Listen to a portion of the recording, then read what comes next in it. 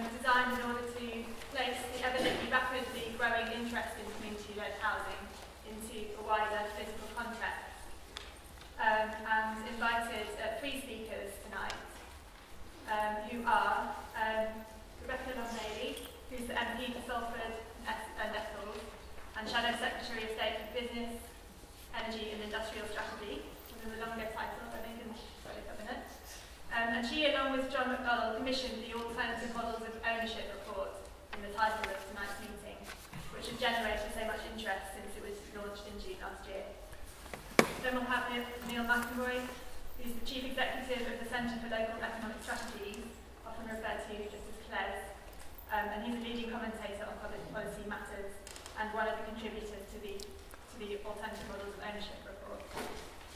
And then finally, finally we'll hear from our housing expert, Stephen Hill, who's chair of the UK Co-Housing Network and a board member of the National Community Land Trust Network, and who has 40 years of direct involvement in the development of policy and practice around the self-organised housing sector and community-led neighbourhood regeneration. There'll be a, um, time for a few questions, probably not to Rebecca because she has to leave and go to another meeting. Um, and then we'll move into a panel and audience debate where, um, as chair, I'll put in a series of questions to Stephen and Neil based on key issues arising from our research so far, and then invite you all to participate in that. I say 30, we'll need to wrap up. The discussions can continue at the Moon Under the Water pub for anyone who'd like to join us there afterwards. That's the Wetherspoon, the other side of, the Boston St. Square. You can just follow the route if you don't know where that is. Um, lastly, if the fire alarm goes off, we'll need to leave calmly through here. Um, and you will find um, toilets out in the foyer here on the right near where the tea So, I'm going directly to Rebecca, and she's going to um, talk to us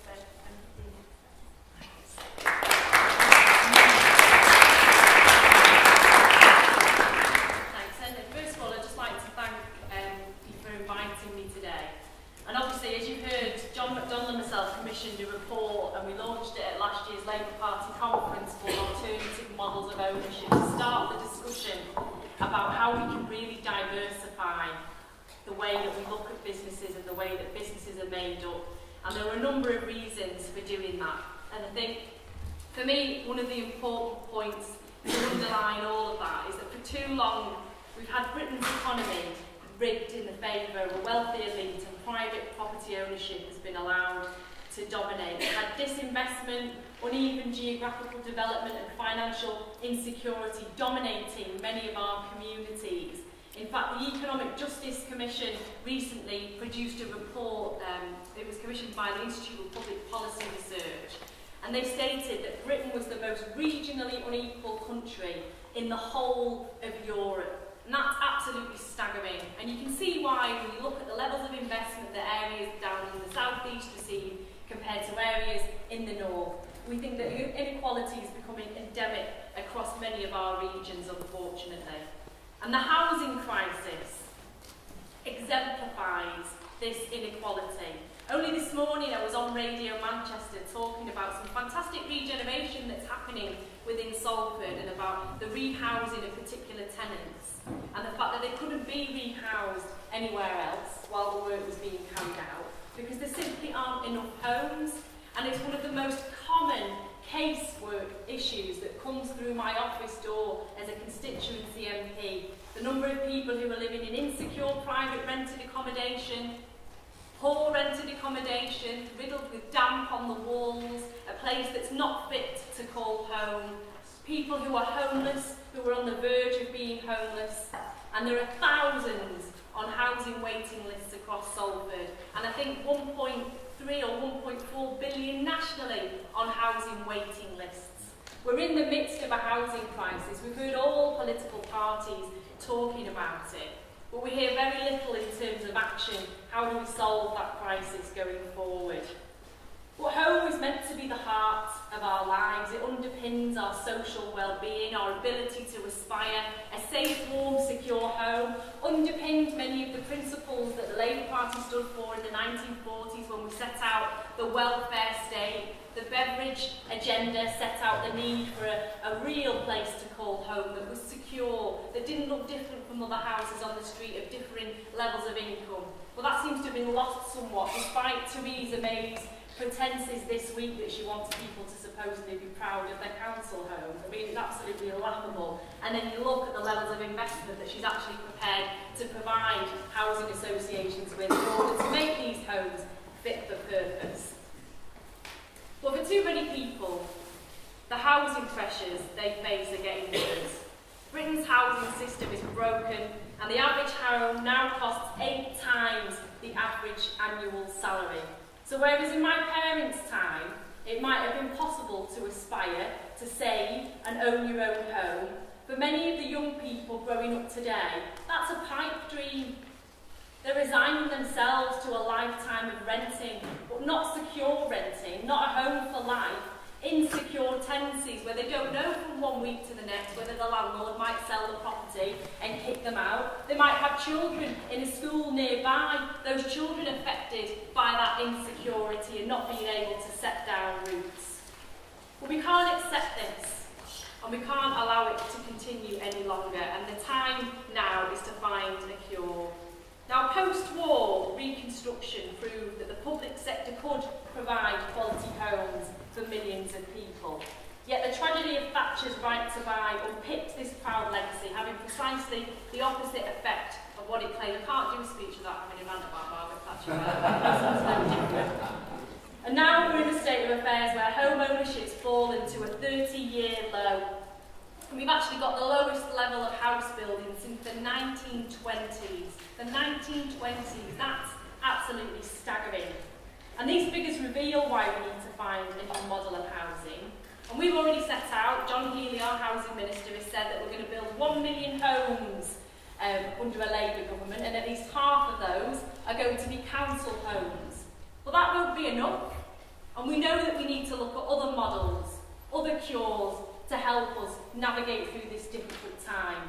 And we also need to recognise that until we do have a Labour government, and please God that will be soon, but we need to prepare ourselves locally and take as much action as we possibly can, which is why I'm so pleased at the initiatives that's been put forward tonight. Now, there are many alternatives to private ownership, not just in regard to housing, but also in relation to business and industry, from the local level to the national level. But in order to do this, we've got to address the big challenges facing the economy. We've got to confront the long-term, the lack of long-term investment and tackle stagnant productivity. And another staggering statistic that I like to quote is that we're in a period of stagnation in relation to productivity. We've not experienced a period like this since just after the Napoleonic Wars, even before we even had industrial revolutions that we, that we go to the Museum of Science and Industry and look at. That's absolutely staggering. We really are in the midst of a productivity crisis. So we've got to reset our economy, but we can't just reset it and improve that productivity and put it in the hands of a wealthy few. We've got to make sure that it's put back into the hands of the many, not the few. And that's why the discussion about alternative models of ownership is so important. Now, it's not right, economically effective or socially just that the profits extracted from vital public services continue to line the pockets of shareholders. This obsession with big business being able to run everything is an illusion, and we saw that this year with the collapse of Carillion, how the rug was pulled not only from under public services, but across businesses in our region, those smaller businesses in the supply chain who relied on Carillion providing them work, late payments up to 160 days in many cases. There was no social responsibility on the part of Carillion to deliver those public services, and the government had to step in and try and mitigate the crisis that was caused.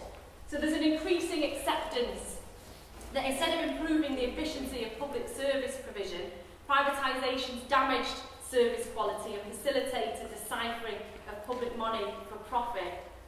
Now we know, you know, I'm probably preaching to the converted, but we know that many of these services will be better run when they're directly accountable to the public, in the hands of the workforce responsible for their frontline delivery and in the interests of the people who use and rely on them.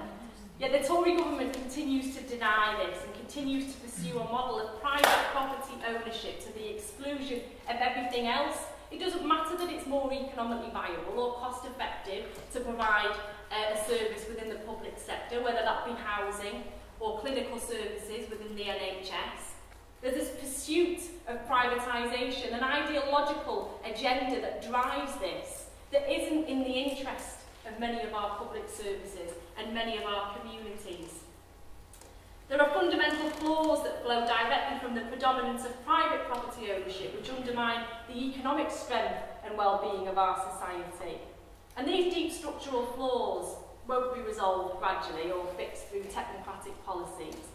We've got to look ahead and come up with radical new solutions. We need a fresh approach, and that means investigating who owns our economy and asking, actually, in whose interest is it run, as well as exploring ways in which we can improve it by working together. So it's therefore necessary that we examine a variety of models of ownership going forward and to, uh, to control productive enterprises, not to, you know, push business out. And I always make the point that we're diversifying our business environment and those public services that we know will be run in the collective interest of the public should be run in the collective interest of the public and the public should have a hand in deciding how those services themselves are run. One example of collective ownership, uh, collective ownership itself has the ability to increase employment stability and increase productivity levels. It also ensures that firms are more democratic and guarantees that economic prosperity is not concentrated in certain regions of the country. I was talking about public services generally and slightly kind of going off topic from, uh, from housing here. Well, there's a lot of discussion in relation to Labour's nationalisation plans to bring certain uh, public services back into public ownership. And what I want to reiterate to people is that constantly in the press we hear that we'll be taken back to the 1970s, that there'll be a shadowy organisation at the top that controls everything, whether it's water, rail, housing, and all the rest of it. That is not what's central to our agenda. Democracy is what's central to our agenda. And around the world we're seeing examples of the positive contributions of national ownership and the different models that are available. But in the UK, national state ownership has historically tended to be centralised, which is why people make these assumptions. And the power has been placed in the hands of a private and sometimes corporate elites.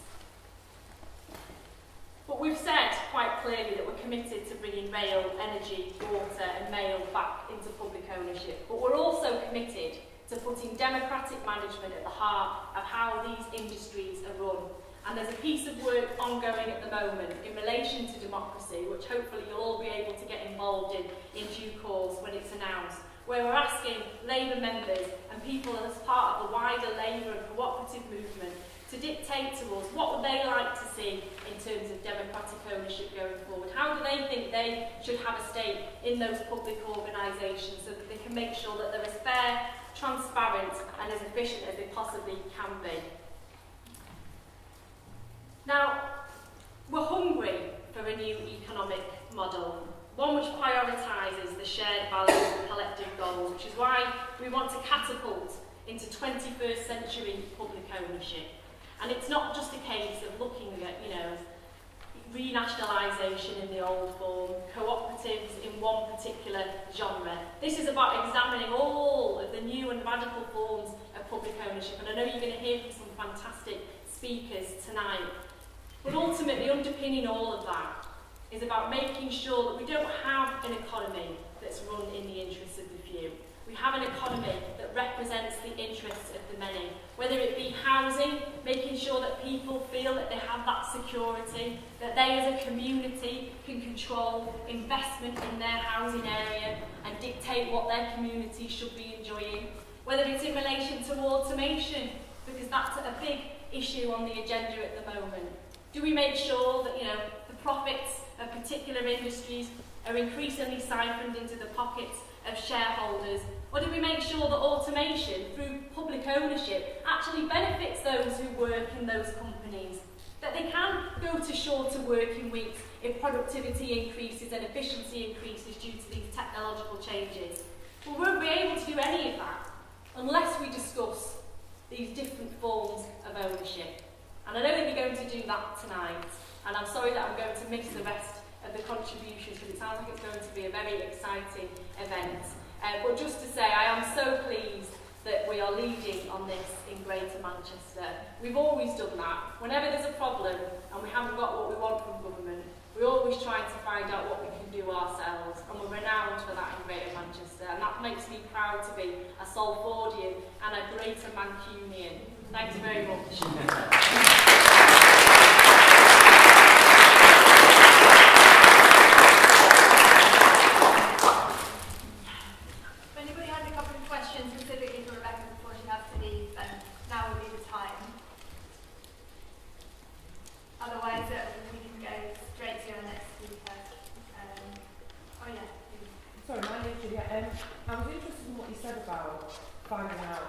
who runs our economy and whose interest is it in. Um, and I just wonder how we can practically do that, knowing fine well that um, those forces who have lots of resource behind them will go to extreme lengths to make sure that you know it's very difficult to track where where where it's going, where it's coming from. Um, and if we know that investments are happening that are not in the interest of the country but more in the and how we can, I guess, go about challenging that in a way that we can get some real traction um, and cause the country to get back to what most of us would like to see, which is a better society. Yeah. Now that's a very good question and it's very difficult and um, I mean we'll be looking at that in terms of housing. I mean, for example, if you get in touch with the land registry about a particular property, if it's a person that owns it and they live in the UK, it's quite easy to find out who they are. If it's owned by a company that's offshore, for example, you'll have no idea who owns the property and you won't be able to get any details from the relevant kind of tax, you know, um, offshore place that they've registered themselves in. And that's why we're doing an awful lot of work on tax avoidance and forcing this, you know, register of interest and ownership within these tax dependencies so that we are in a position to be able to find out who landlords are so that if they are, aren't doing what they're supposed to be doing or local authorities need to intervene in some way, they'll at least know who to get in touch with. And another example of that is on the high street. We've got, you know, empty shops, for example.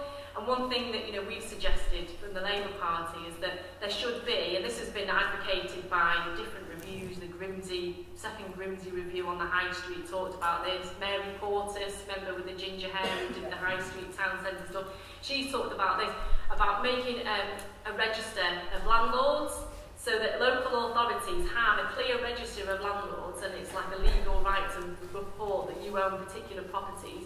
So if it's empty, it's dilapidated, Um, it can be used for other uses, for example. The local authority or whoever else might be interested will be able to directly engage with that landlord and do something about it, but that takes direct action from government and then we'd have to legislate to do that. You can't expect these things to just happen voluntarily because they're not, are they?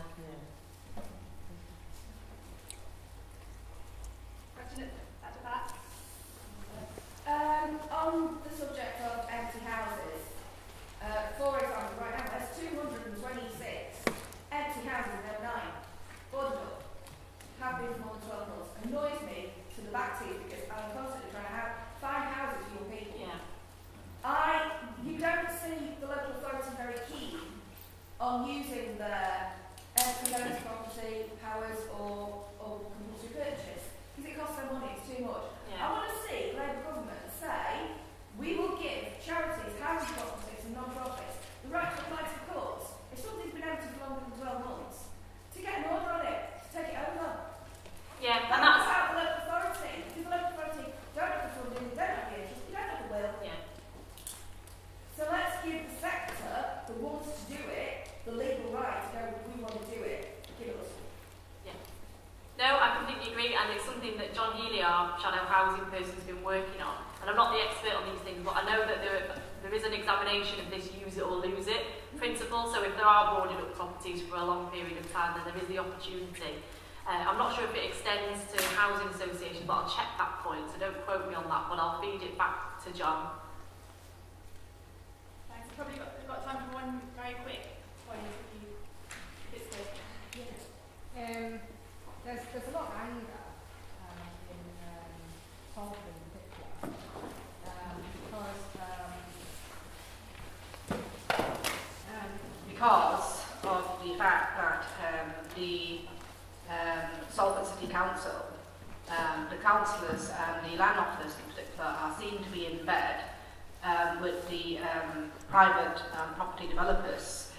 Um, and in point of fact, I think um, the University of Manchester um, did have an event um, a week ago which looked at how um, urban, uh, well, de- developer-led urban regeneration um, has more or less been given a free hand, um, particularly in Salford, um, which has led to a lot of inappropriate development um, and um, uh, of very expensive housing that has ended up pricing out Salford locals. I mean, so much so that now the average price of a house in Salford is 137,000.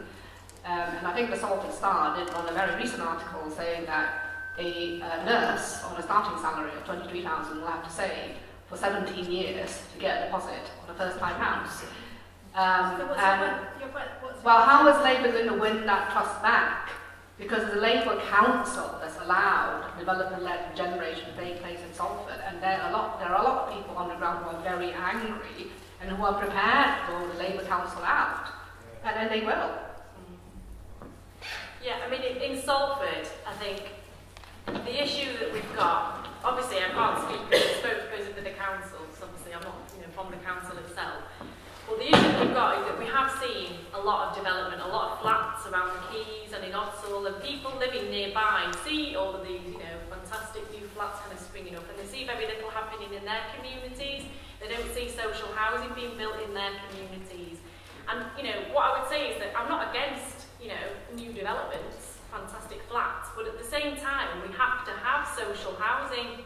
And what we need is a massive, bold and radical council house building programme, and we need to fund local authorities and housing associations and cooperative projects such as this one to be able to do that. And we're not seeing that from government at the moment. And we're in a situation where, you know, as I said earlier, we're trying to make the best of a bad situation and come up with ideas for community-led projects We shouldn't have to do that because there should be a massive fund provided by government to deal with this housing crisis.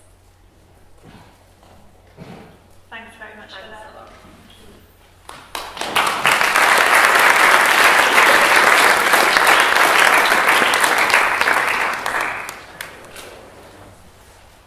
So I'm now going to pass over to Neil McInroy, uh, who was going to talk about the political space for alternative models in the post-industrial north. Good evening. Hello. I'll, I'll make far regional accents, obviously. Accent me, which hasn't very got a brilliant accent. Eh? Never lose it. It's great, isn't it? You know what I mean? It's brilliant. You're going to some Scottish brogue here. And I'm knackered, so getting broad off the on, so I apologise for that. Uh, my, my accent was uh, born in the Highlands, uh, educated in Glasgow and messed up in Manchester. So, uh, uh, thanks for the invite. It's brought me here today to, to share uh, this movement you're building here. So that's good. Thanks for the invite, and uh, hopefully I uh, contribute something to it uh, now we're moving forward. Uh, I'm Neil Magnus, I'm the Chief Executive of the Centre for Local Economic Strategies, uh, the UK's leading member of and research organisation dedicated to progressive economics for people and place. We're based here in Manchester, across the UK and Europe. And we've got one uh, abiding mission, it's to change the political economy of the United Kingdom and anybody else that wants to listen to us. That means that we believe that the economy has went bad, yeah, very bad. Uh, we take our inspiration of the economy from the Greek word oikonomos, the root, the root of economy, which means kind of keeper of the household. We believe an economy is some, a social construct. Fancy word there for 20 percent, I need that. Lovely. A social construct. It's something that we create.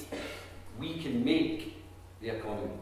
But what's happened, of course, is that we, we meant to fit into the economy that's made by somebody else. So we need to bring the economy back home, literally back home, right back to our hearts. It should be something that's an endeavour that we make an economy that we want, yeah, not that somebody else does. That's our, that's our mission. Uh, uh, I'll tell you a joke, a joke. Three types of economists. One that can count and one that can't. I got a bigger laugh in Belfast uh, uh, we are a, a weird think tank. Uh, uh, in that we think and do. Well, not one of these think tanks, this comes out of policy reports that, that, that, that MPs and people can read. We try to do stuff. We're practice to policy as much as policy practice. So we take inspiration from stuff that's happening on the ground and try then to put that into either local authority or a national policy field. Uh, I'm going to do three things. I'm going to just broaden out the ideas and touch on things that, the, that, that Beck talks about, uh, about the current political and economic context within which community housing sits. I'm going to talk about the rationale for ownership in its broadest sense, a plural ownership, I think also Beck talked about. Ownership, not just the state and not just private, a plural set of ownership, and why that's really important for this bringing the economy back home. And a little, a, little bit about how do we gain traction here. You know, we've got a juggernaut of market liberalism. How can we slow it down, stop it? You know, a little, little thought about what, what, we've got to do as a movement. Does that sound alright? And then you'll shut me up in 10, 12 minutes. Uh, Isaac shuts up. Can I do? I will, I probably do want to sit down because I've got really wet feet. Anybody else got wet feet? Oh, I think that, yeah. Right. Um, the first thing to talk about here in terms of this broad now is that I'm optimistic. Who's optimistic? Ah, warriors. uh, by the end, you're more optimistic. uh, hopefully. Uh, there's a growing consciousness. I'm lucky I get to travel lots of different places across Europe and Britain. Know, this week I've been in Birmingham, Belfast, last week Edinburgh, and uh, I- I'm going to Auckland in a few weeks' time. When I go to these places, all I see is people like yous, people like yous who are doing stuff. who are trying to change things. They're doing things in spite of the system. And what we say is, why don't we have the system that supported it? We'd be cooking on gas. So I'm optimistic. There's a growing consciousness that come out from the global financial crisis. It kind of, the, the mass slip. Nobody's in charge. The whole thing's a mess. the mass slipped and we're all going, aha! Well, some of us kind of knew that anyway, but, but mainstream people are going like, oh, not mainstream people. They make, everyone of knows, you know. Even my brother who's a Tory kind of knows it. yeah, he's going, oh, that's no good, them bankers. I can tell you that. Yeah. you know, so, so there's a growing consciousness, and that's a growing thing. And we're at the end, the beginning maybe of that. You know, that's the first uh, Churchill quote and only one uh, in the beginning. Uh, uh, so people are fighting back. There's movements across lots of different environmental movements, housing movements, uh, uh, economic movements, co-op movements. They're all growing, and they're all getting people coming around and rallying. People are no longer tolerating the intolerable. I know. So, we're also, we're saying that we're in this uh, uh, interregnum. There's another funny word for is. Interregnum. Who knows what interregnum is?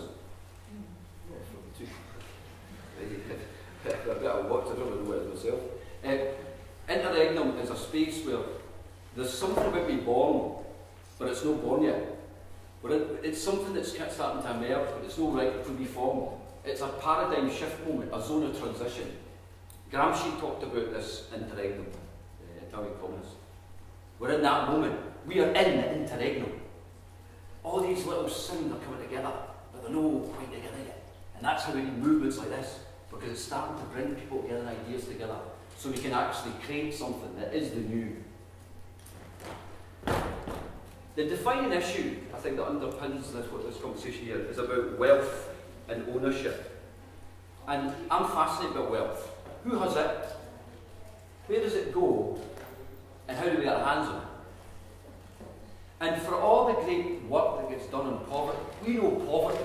Oh man, it's you just put you know, studies of poverty, oh, millions of stuff. We've no dimensions, shapes, where it is, who has it, what poverty. Wealth, we have no idea. It's, it's hidden.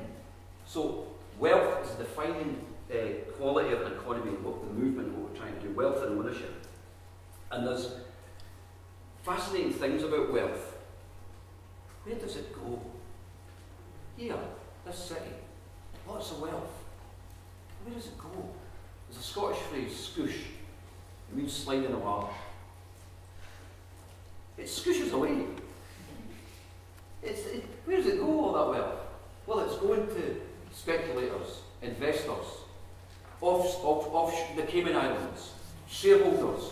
None of them probably here. It's not hitting the streets of you, God, it's squishing away.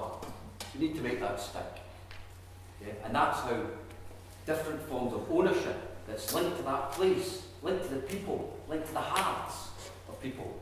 That's how we counteract that wealth that squishes uh, away.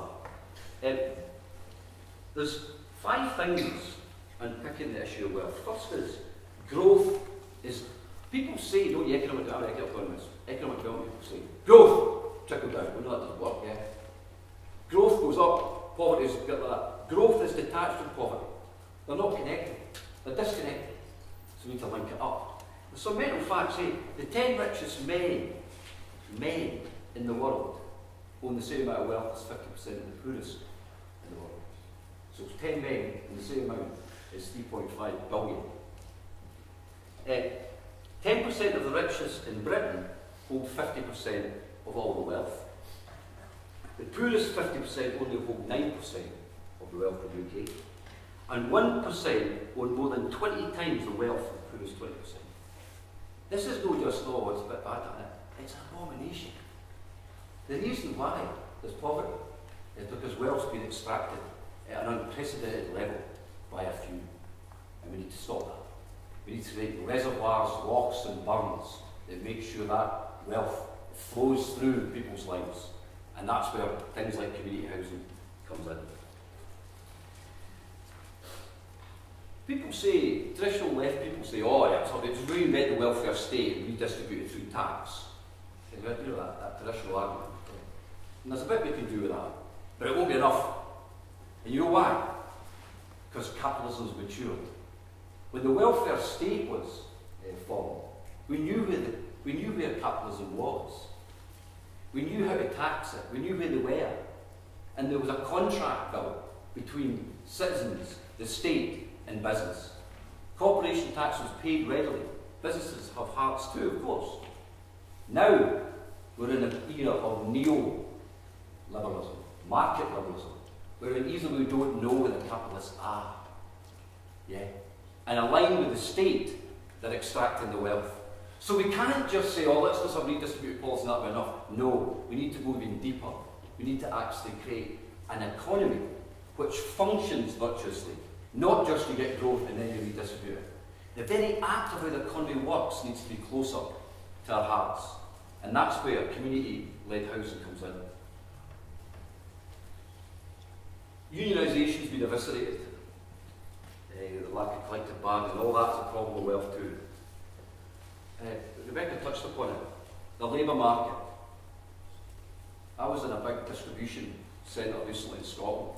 One of those distribution centres, you know, you're driving past it, you go, oh, there's that. And like two minutes later, you're still driving past it. Massive big shed, right? Flipping huge. And I'd been these tours. Right. And this, yeah, see robots moving about. Okay. I asked the guy who was showing us the tour, what's your R&D for the different types of robots? And he goes, oh yeah, we've got, we've got great plans for more robots. Yeah, we're going to automate that bit and this bit. And I'm going, oh, you'll be employing less staff then for the people to fight. Yeah. And he goes, oh, no, oh, no, I'm not sure about that. Oh, of course there will. There's going to be less jobs. Now, traditionally, money has come to us through the wages. If there's no any jobs, how do we get wealth? We're going to have to own more of the means of production. Otherwise, we're going to be poor people in perpetuity, in misery in perpetuity.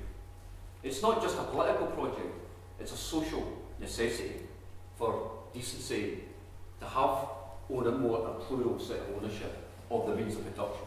And again, this is where community housing is so important. Planning. Planning. Planning used to be a tool to create great places. It was a enabling context where Patrick Geddes, the Scottish planner, he's seen places as systems, and you need to all the things connected to create great places. And he was a planner. Planning now is a tool to facilitate capital to come in and for capital to leave. It's a, it, it, it's a, it's a vehicle for, cap, for, for capital and investment. So planning is fundamentally important. We need to change how planning uh, functions.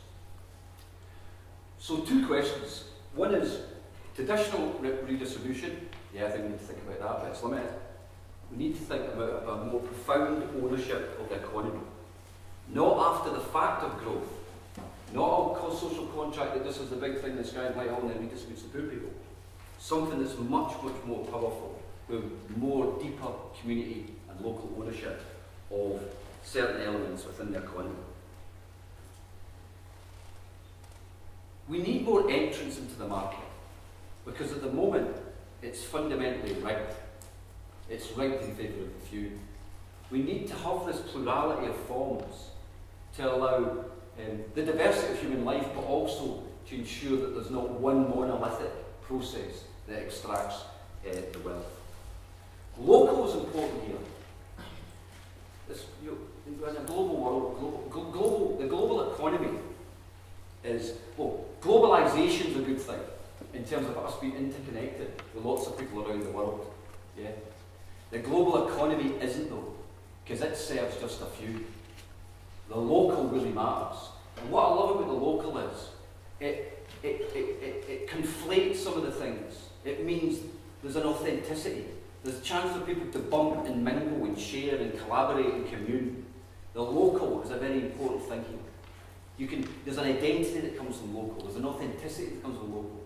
So an economy that has a, a, a, more of a local element to it that counteract that global economy, I think is very important. Also, democracy is important. Democracy itself has become you a tool for global corporations to utilise. We need to bring democracy back home as well. Ada Colau in Barcelona, the mayor of Barcelona, where we do some work, she says politics is an agora, not a temple.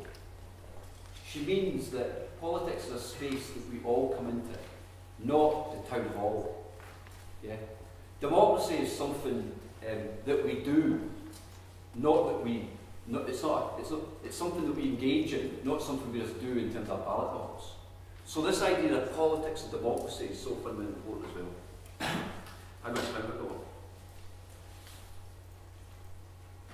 Is it all right? Is am I ranting on? High, Huh? What was that? Right. All right. I get that peasant Scot thing. I, I say this all the time. You it. We, we when our shoulder says you're shine. You know, you know, it's a horrible thing. It's a cross you've got to bear, but it's better than being a glorious bastard, isn't it?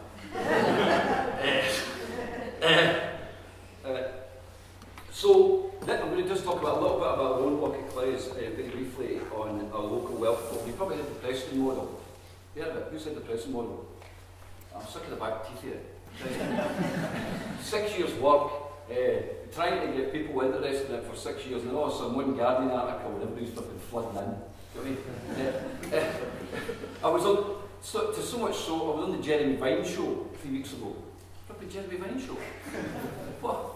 Followed by a Burmese python. Jeremy Vine's a nice guy, actually, I have to say. But, uh, I'm leaving Glorious now. I, I know Jeremy Vine.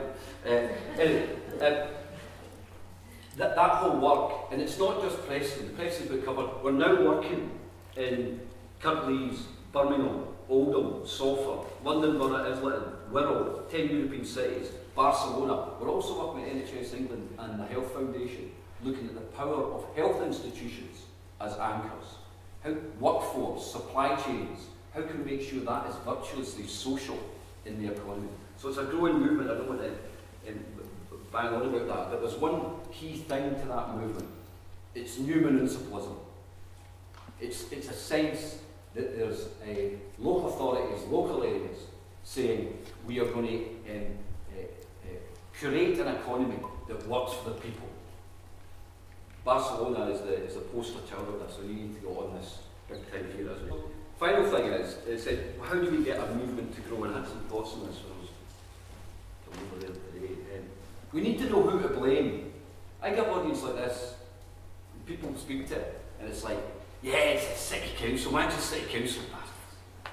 Combined authority, Like, or it's like, or you say like, oh, it's that, they bought that RSL, bought it at home, nasty. Well, that, yeah, yeah. It's not them. It's not them. It's the system. It's the market and big government. It's them to blame. So when you're trying a movement, you need to be very careful about who you start to blame. Certainly somebody's just going through the motions and going back, we need to call that out. But call out the real people that blame, which is the market. Manchester City Council's doing the best in a crap situation. So soft. I don't think you should blame them. Blame the real people. Blame the neoliberals. Don't blame them. They're just trying their best in a crap situation. Third one is, second thing is the trigger. The tr- uh, in our movement in the Preston work, it's been like the trigger is this dawning realization that there's injustices being done. There's something really intolerable being done. And that trigger, when you see that thing and people, you see other people get interested in that thing that people get annoyed at, jump at it. Because that's the, that's the medium, that's the, that's the entry point to your movement. The, the, the, the real burning sense of injustice, homelessness, well. The third one is evidence. What's the true story here? Go beyond the injustice. but How is it manifest? What's the causes? Is important. So we've got who to blame, blame the right people, the trigger, evidence, and collaboration. With the of Preston in new municipalism is this is not about vainglorious leadership. The means to a movement are important as the ends, they infect the ends. And if you're a movement for social change, it's no Hannah or Isaac or somebody saying, here is the way forward. It's everyone. It's, it's, it's suspension of hubris in this leadership and I know I'm the big man or woman. Yeah, it's about solidarity, collaboration, and working with your brother and sister. That has to be the means that we hold dear. And some so-called progressives, usually in London and usually ranty lefters, left wing, sometimes I'm suspicious of them because I think actually your your ego's too big, mate. Calm your ego down and let other people in. Yeah. And, and, and England's plagued by that. There's something in England DNA I said that just looks look for the big leader. Maybe it's Henry the fifth thing, I don't know. Yeah. Uh, the fifth thing is patience. You don't you don't stop the juggernaut by waving in front of it saying stop, because it'll run you over.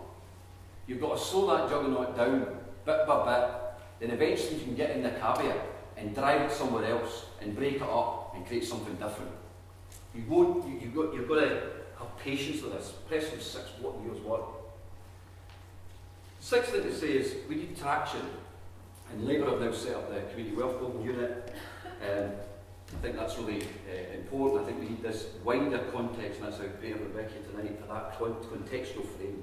The final thing I would say is that, very finally, that there's a guy called Roberto Unger, he's a Brazilian philosopher politician. Roberto Unger says this is the age of experiments in this interregnum. It's trying stuff. Trying it, getting small wins. I was speaking to Steve there earlier. Get that, get that, get that little housing thing you're trying going and working. Two, four, five, six units. Get it going. And sing to the rooftops about it. Yeah? Showcase it. And then that experiment will grow. It, it, it's a, it's a tipping point. It'll be exponential. That's try stuff. And I see in this moment what we are. We've got all this horizontal energy. Yeah? Lots of plural people doing great stuff as part of this movement. Where we are in the theory of change at this point in time is this is starting to grow, but vertical power is not yet been affected. We need to do more and more of this, and then root vertical power to it, and then we really escalate. We're not there yet, but that will be a goal. Thanks so much for listening. Well, that's helpful.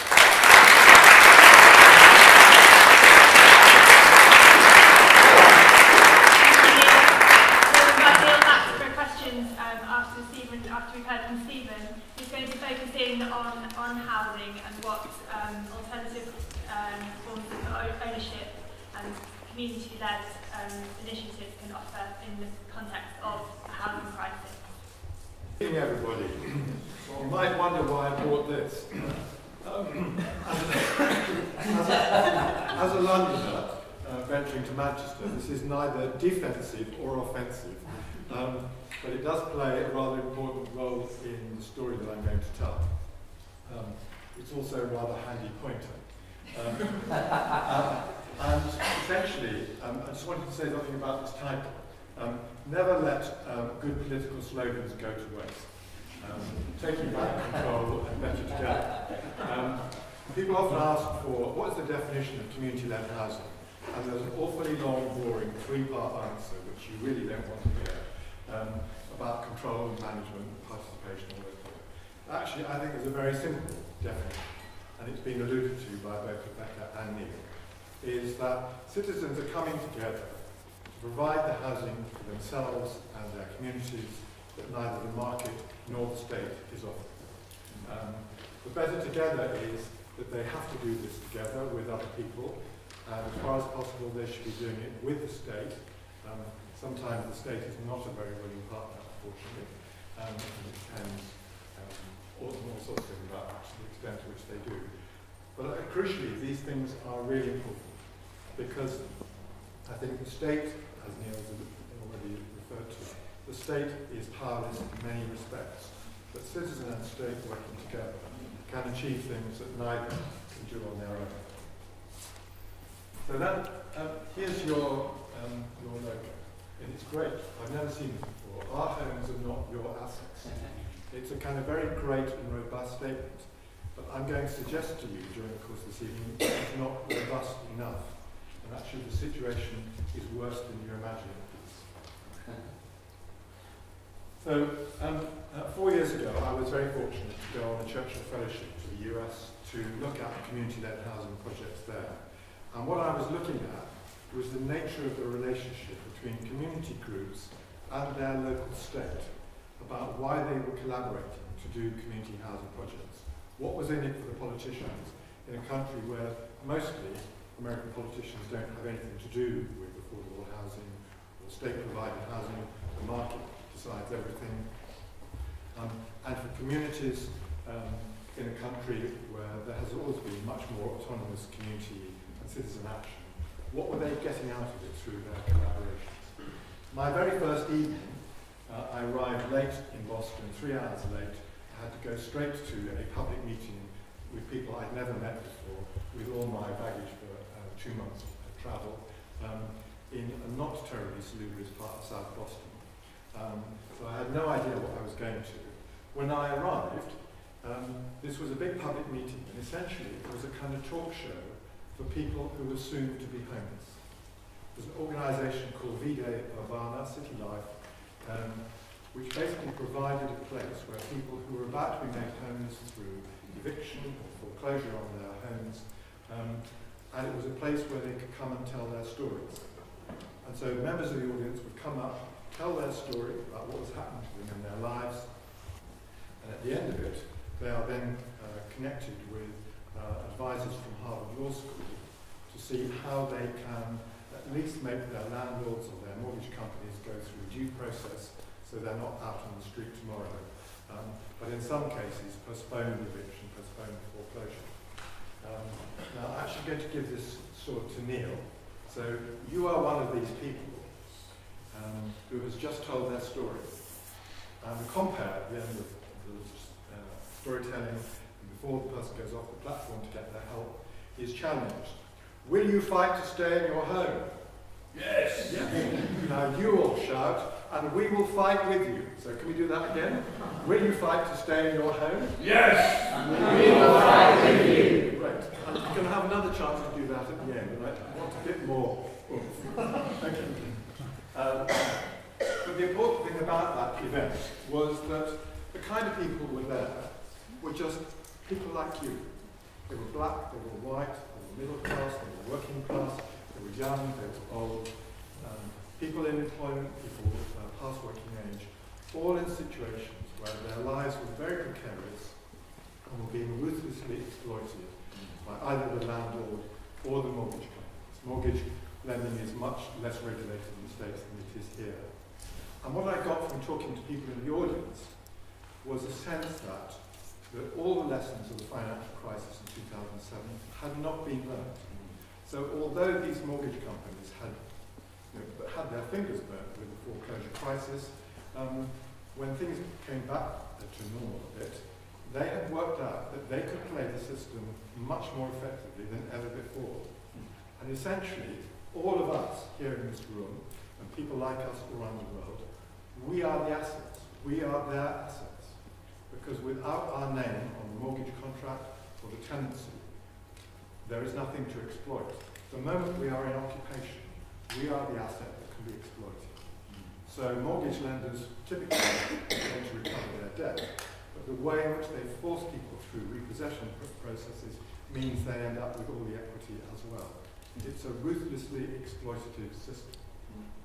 And it was a real eye-opener, which really coloured all the rest of my visit to the States um, and the things that were.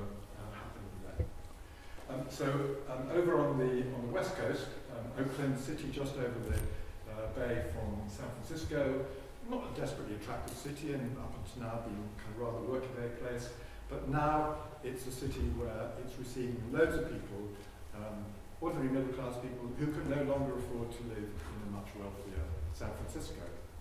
But the immediate effect of the foreclosure crisis was a moving in by three or four international vulture all these little sort of homey notices about um, housing you see on uh, uh, lampposts and, and telegraph poles and things, these are all basically, they all go back to about three companies which ruthlessly exploited all the people who were in trouble, bought up properties, started investing them out to wealthier incomes from San Francisco, and, and were displacing mostly um, African Americans from poorer neighborhoods and repopulating them better off people, and then ultimately selling them off at huge profit.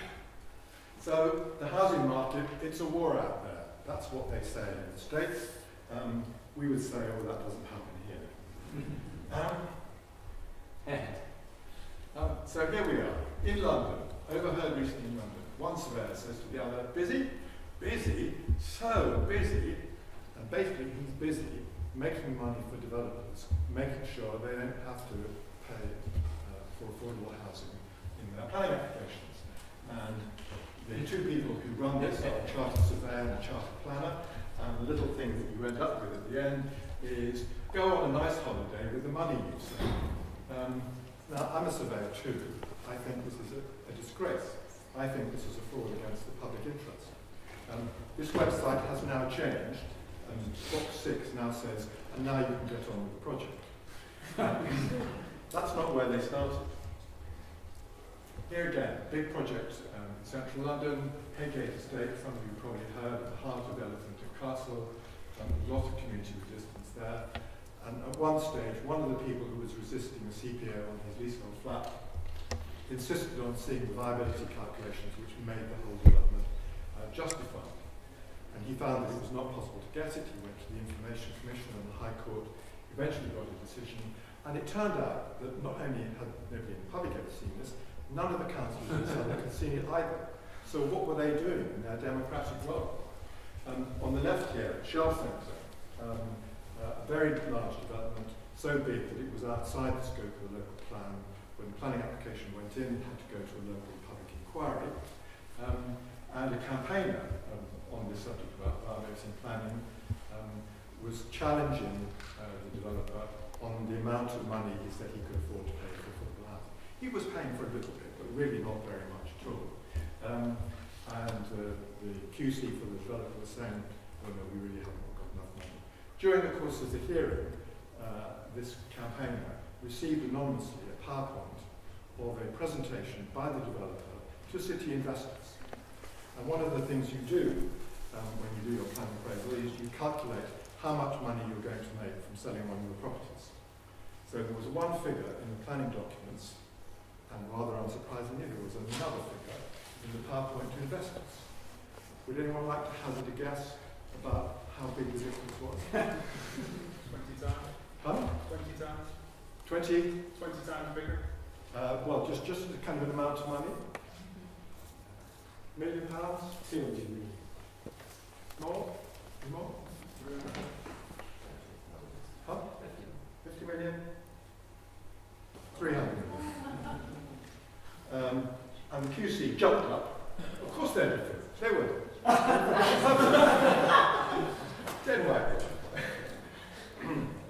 so there you are. Heygate Estate, um, one of the big issues here has been displacement and gentrification. Uh, University of Leicester have been doing some really interesting work mapping where people went to.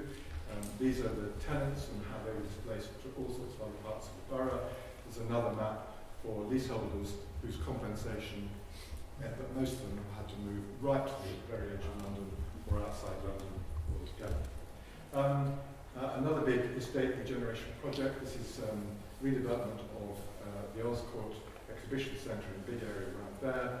Hammersmith and Fulham Council, when they were under Tory control, sold an option to the developers Capco on two estates for £100 million, which means the developer can call for those two estates to be empty any time it's choosing in the next 20 years.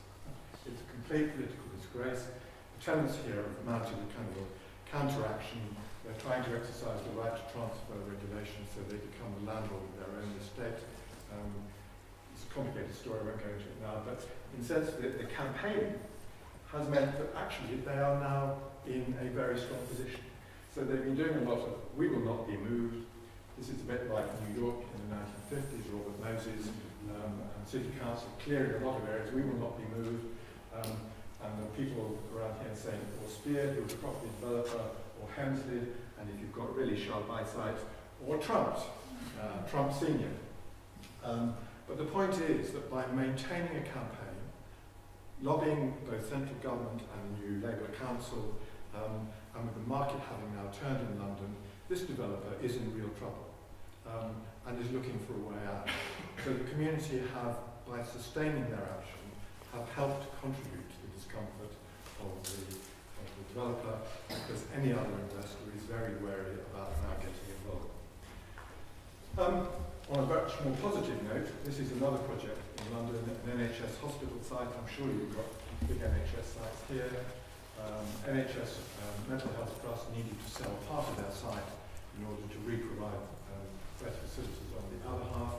They got permission for 450 homes, being the most that they and the council thought they could get away with without getting a lot of local opposition, um, but only 14% have affordable housing. Community said 14% is not enough. Um, they started their alternative plan, started the St Ann's Redevelopment Trust. They came up with a proposal for 800 homes with at least 75% affordable housing. Um, and they then mounted a political campaign to persuade the Mayor of London to buy the site from the NHS, which they did of this March. Um, he's got a plan for 50% affordable housing. Communities say that's still not good enough, so the campaign goes on. But the point is that whatever happens, there's going to be more affordable housing. And that community campaign created the political space in which something different could happen. Um, so what's special about community-led housing? Well, it's a direct witness for policy and market failure people are experiencing. People are very preoccupied with genuine and permanent affordability for their community uh. It's also about people taking some sense of responsibility and having a long-term vision about what they want their place to be like um, and having the means to do it. As you said about just making the whole process of physical and social change more human. Um, I think people feel so alienated by the pace and the, and the distance between them and people in power. And then to come back better together. There are things here which the state and the citizen can do that neither can do on their own. And I'll just say a bit more about that in a moment. Um, and communities are disruptors. We're trying to do things that other people won't do or possibly even can't do. So most of the innovation in housing, I would say, is actually coming from the community sector right now. Now, I'm just going to do a little bit of sort of slightly boring stuff. This is a community land trust. This is a legal definition of community land trust. And I was really surprised that the um, Labour report um, didn't really mention it. Gets one time mention in the footnote. Um, and I think part of this, Labour does have a problem with community land trusts. It was in legislation that they authored in 2008, but they really didn't want to accept this amendment. And I'm not entirely sure why and it will take up another whole evening to discuss this. Won't. But the point about it is that you will not see the words housing or affordable housing anywhere in this definition. Um, so it's not a model of affordable housing. It's a political idea about land ownership in the public interest.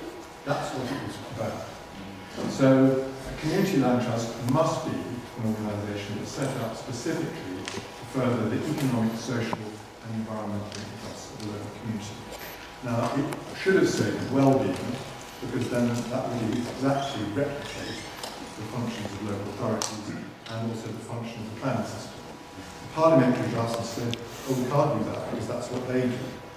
And we said, but that's what we want to do as well. No, no, don't be um, Having got your assets, you can only use them for that purpose and then you have to be an open membership local organisation, locally accountable. And these are really important. And that's what trying to do is you're trying to change the way the land market works in your area. Central government and local government never try to do this. So who are we, community, doing this? We have to give ourselves some kind of legitimacy to make that possible. If you look at the way the government do it, so shortly after this, that was in 2008, 2011 we had the Localism Act, uh, the government's attempt to devolve more the communities. Um, parliamentary Blossom had been really, really tricky CLT definition. They had to come up with a definition of an organisation that could promote community work which is basically an organisation that gives itself planning permission for the scheme. Um, and uh, um, apart from the words interest and well-being, it's exactly the same. So somebody in the parliamentary Russian office thought, oh, here's a good um, This is a government-sponsored thing, and you'll notice that there have only been about three or four community since 2011. Um, you just go back to the previous slide. Um, on the previous slide, you might have noticed up in the top right-hand corner, the number of community land trusts, most of which have been formed in the last few years, is 317. You might draw your own conclusions about things that are initiated by the citizens and things that are initiated by the state. Uh,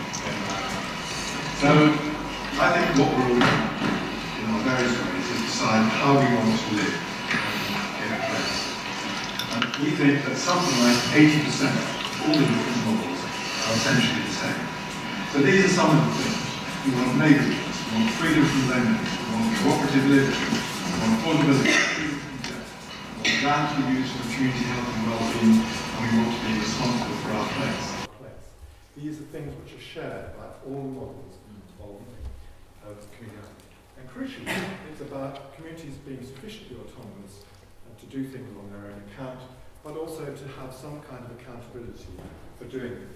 And that's a really important idea because politicians get very nervous about citizens exercising power.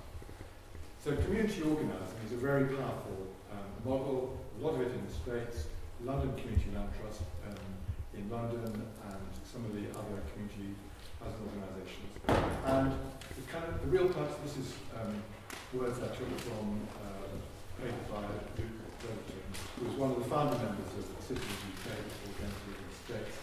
And it is about real, real people power requires coordinated common action around all the things that are important to us. And you need existing um, forms of institution, but also new self-generating institutions, which community housing is one. And citizens have that ability to uphold that sort of common good life much more effectively than any other institution. These are things that local national government cannot do, but you can, we can do these things at a local level. In the States, took a big conference when I was there in 2014. It was really interesting at the National CLT conference there. Um, there were very active community organisers, quite radical people, Take Back the City. Um, but what we were all thinking about is that the people who we've always thought of as being very marginal and most vulnerable have everything now in common with the threatened middle classes. And I know that one of the things that is in question is how do we make sure that, that marginal people have as much access as the middle classes seem to do. I think it's really important that we don't try and create differences, is we try and find commonalities.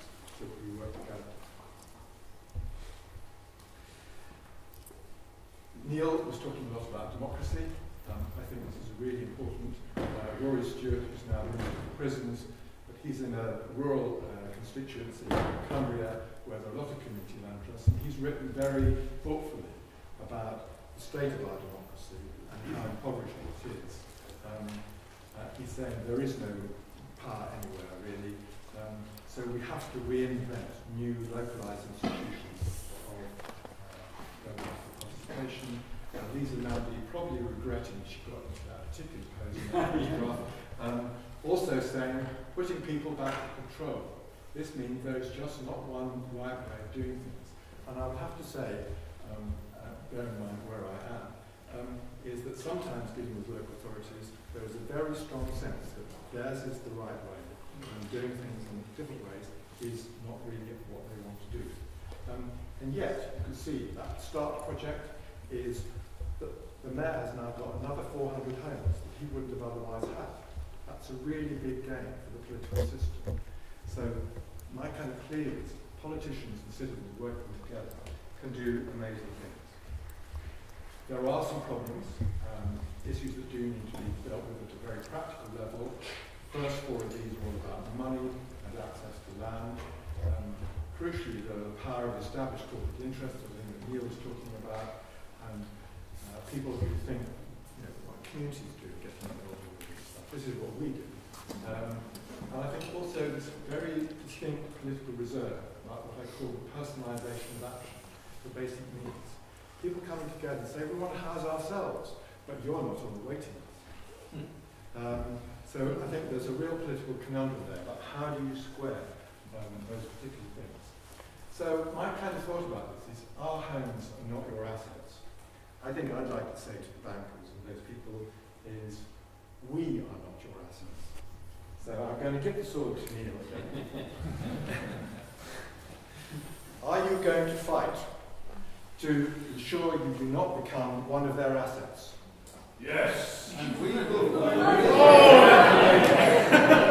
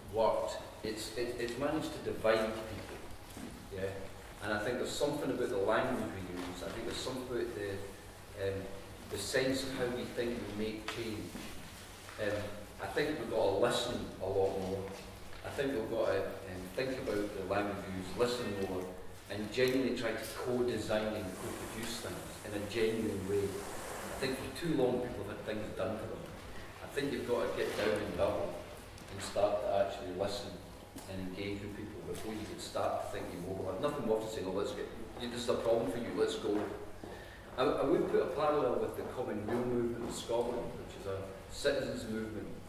And that, that, that was an amazing um, uh, movement that helped the, helped the independence movement. It's a progressive movement for lots of aspects of Scotland. Scotland. But what Common did really cleverly, it, it spent a lot of time just going into communities. It was academics, it was middle classes, it was think tanks, it was politicians who said, we're not going to prejudge stuff here. We're going to get out there start to do stuff. And so they mobilised lots of people. I went to a town hall meeting in Tyndrum, which is near from in Scotland. There was like 300 people there. Do you know I mean? About articulation. So there's something about the means of how we engage is something important. And listening, I think, is a, a key point to that. I, I think it's important not to overstate the kind of classroom. Um, and I think there are, there are two things I want to say about that. One is that for housing as an issue, we've got very used to the idea that we have to rely on the state as a market. You know, that's, those are the binary choices we've got. Um, the um, National Community Land Trust Network got a, um, a doctoral student to do some research on doing, working on system design. How do people get, if they want to do community how do they find out about it? How do they go through the process? Um, and one of the things she just did was to go out on a rush hour on uh, commuter line stations all around London and ask people, what are you looking for in your housing? And she said, lo and behold, they want all the things that you're offering. They've got no idea who you are, they've got no idea you exist, they don't even know it's a possible choice. So just raising the awareness that there are other ways of doing this is really important. And I think, to be fair, um, this government and the last have done you know, a not too bad job in doing that and making it a bit more uh, of this issue with self-build and custom build, getting the idea across, and there are quite a few MPs in Parliament on all sides who are saying house builders is just so diminishing our choices that we have to encourage other ways of doing it. But the other thing, and it comes back to my point about community housing, community organising, is that organisations like London Citizens, they have lots of member organisations that's how they're based. They're a federation of other civil society organisations, which will be schools, credit unions, uh, mosques, churches, places where all sorts of people from all walks of life meet. Um, and the work that they do is to conduct listening campaigns, hear what concerns people, and then try to turn those into campaigns which they can take to business, politics, um, but crucially then educating people in their community to be their community to lead on these things from an informed perspective. And in London, they have they decided they've done two things. One um, uh, historically was the London Living Wage. So members of all these different organisations, that their key priority. We're not paid enough to live in London. So the London Living Wage campaign is born, a campaign that takes to employers, persuades them to pay, pay their worst paid people uh, proper wage so they can come to London.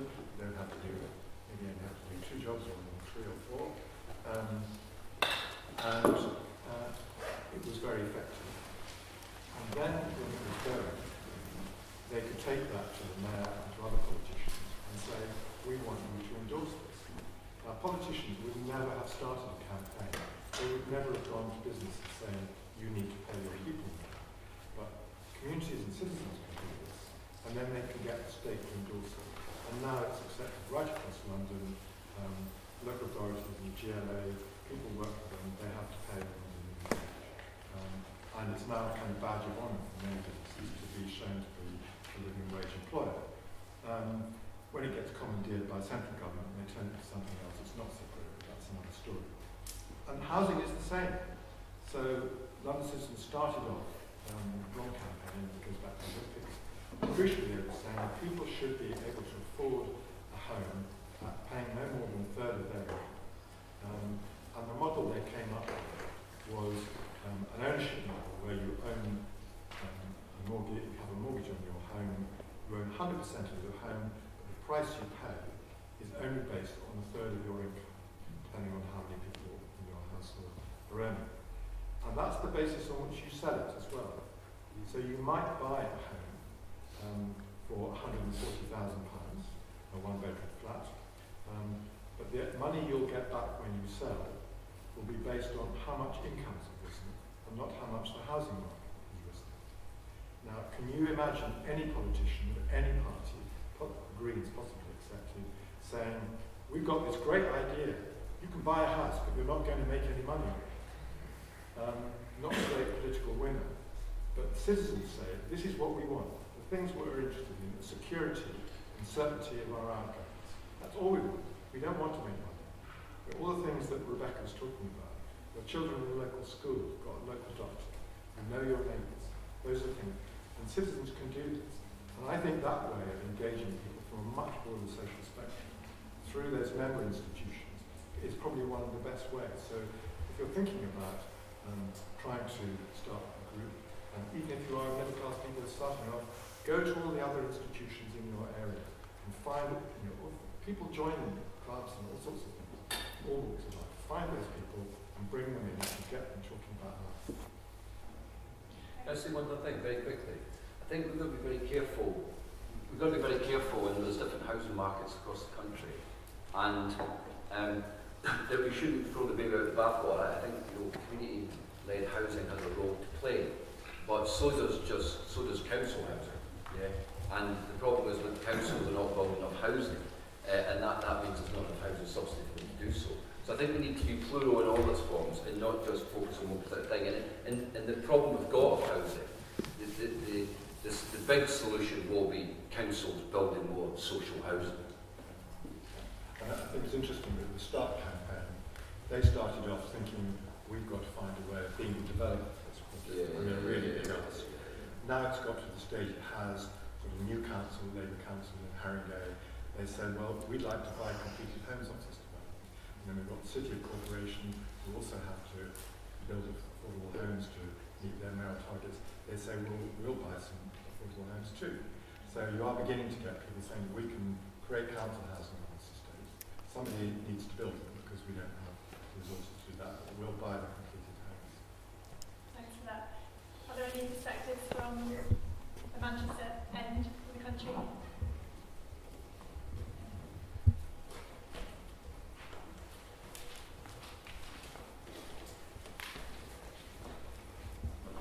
Hi, uh, I want to ask a rather practical question around this. Could I ask you to introduce yourself? Yeah, my name's Nigel Rose. I, um, I work for MAC, which is Voluntary Sector Infrastructure Organisation for Manchester. I'm also a resident of Chorlton in South Manchester. Um, a rather practical question, which is, uh, I was speaking to a chief executive of a housing association about a month ago, who was saying that they wanted to build more social housing. The problem was they couldn't afford the land. And the reason they couldn't afford the land was that London investors are now investing in Manchester because the returns are much greater. They're now up to 8% in Manchester, uh, which is a fantastic rate of return on capital at the moment. So my rather practical question is, where do we get the money? Where do residents or communities or anyone else get the money to purchase the land? Yep, yep, yeah. I'll, I'll take it. I'll take three questions and then. That's quite a big question. Are you okay to pause it? I think just, I think just to take that one. Okay. Wanna go first? Yeah, you start first. I, I don't think it's a big question, uh, actually. Uh, sorry. Uh, I, I, I think it's quite simple in that we need uh, a proper uh, land control and we need proper investment in uh, public bodies that can purchase land.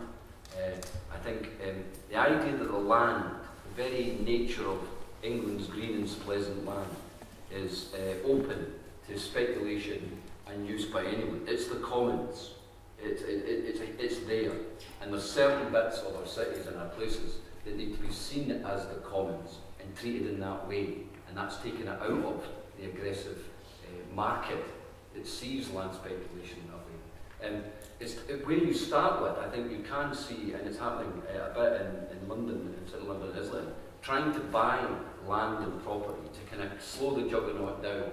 I would, I would think that the combined authority, if it was supported properly in Greater Manchester through subsidy from the state, should start to buy up land and keep them in perpetuity as commons for the people for their use.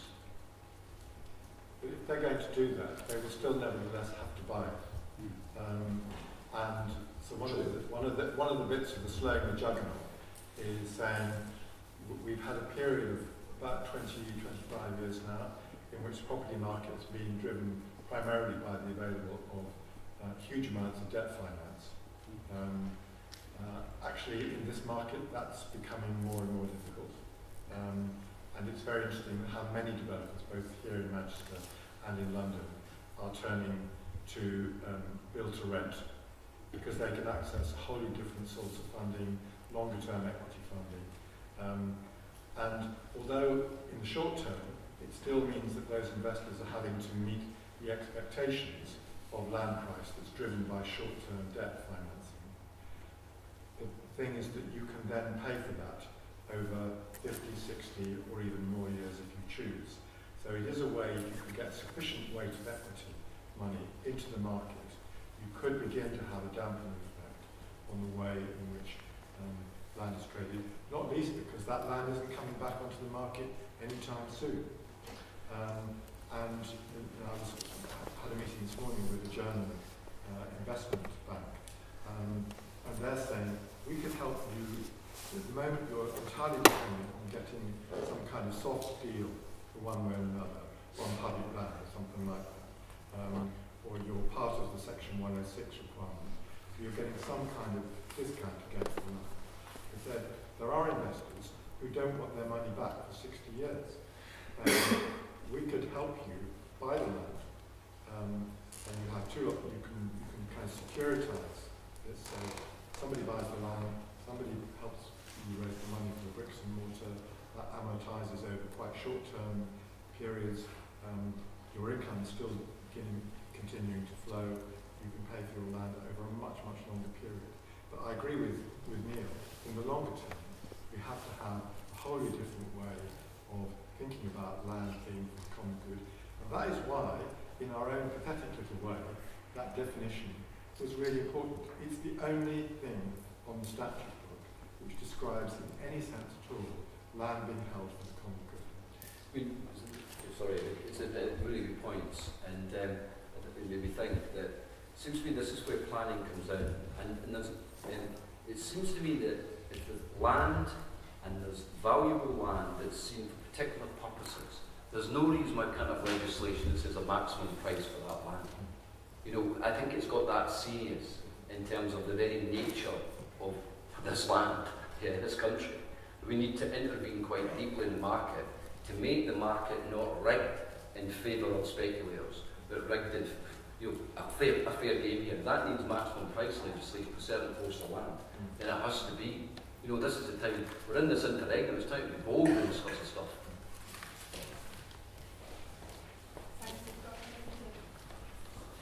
Thanks very much. Uh, my name's Jo Bird. I helped to co-found Equinox Housing Co-op in Longsight in the 90s. And now I'm, I'm project managing uh, this project, which is chairs the Greater Manchester Co-op and Community-Led Housing Project.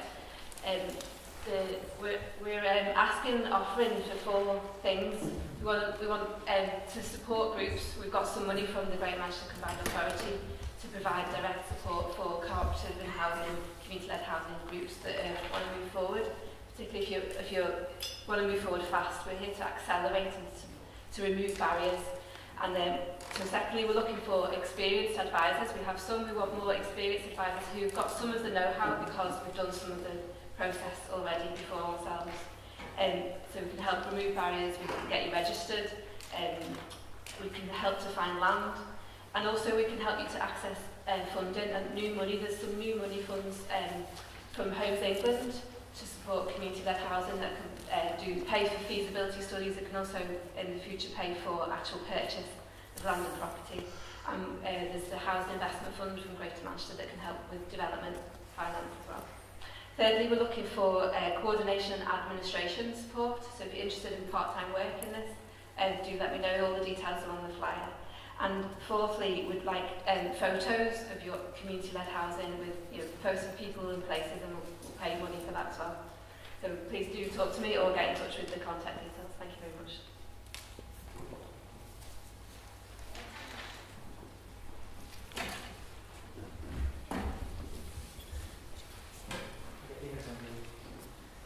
Thank you. I'm Phil President, I'm a resident, that's all. Um, do you think the word affordable has been devalued to the point where it's actually hampering discussions? And what would you do to replace it yourself? Yes. Yes. That's two yeses. um, I mean, Uh, I'm Sam Wheeler, the Labour councillor for Piccadilly, which is the eastern half of the city centre. So um, I can't afford to live there, so I live in Gorton, um, which is where I'm from. Um, but it was partially linked to Phil's question. So the affordability level in Manchester is £750 a month. Anything less than that is counted as affordable. Um, and uh, have we got to a stage where it, it, it's just not useful as a term um, when we're talking about affordable housing. Um, and also I want to build some council housing. How can I do it? Thank you. Okay, should we take one more question or point?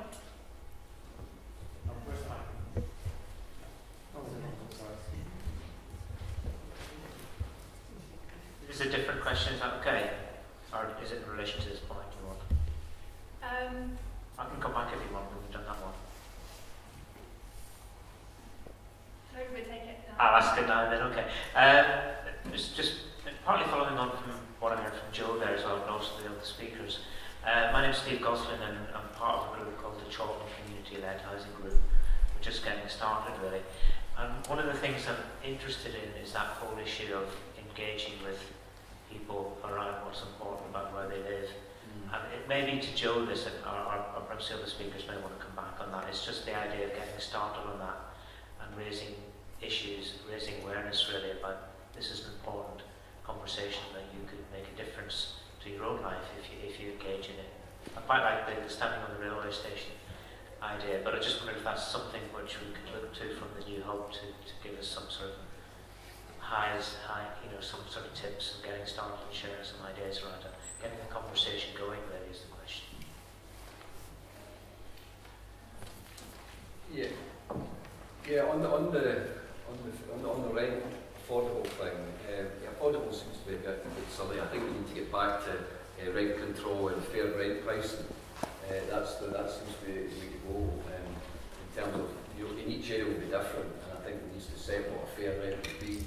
Um, in terms of who would afford uh, uh, to build housing, I think that clearly in the absence of government not having proper housing subsidy, as there, as there is actually in Scotland, we need to look very, very seriously at Section 106s and other types of developer input and how we extract more from them.